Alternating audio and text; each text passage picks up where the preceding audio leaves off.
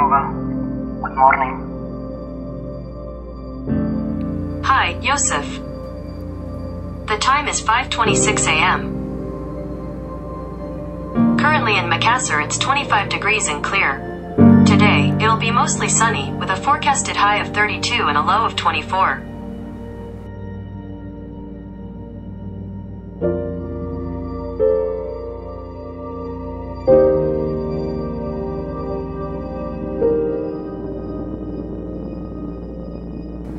Have a nice day.